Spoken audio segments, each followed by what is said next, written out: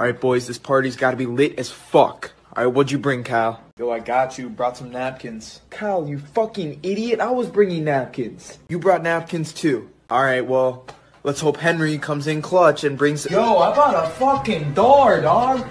Henry!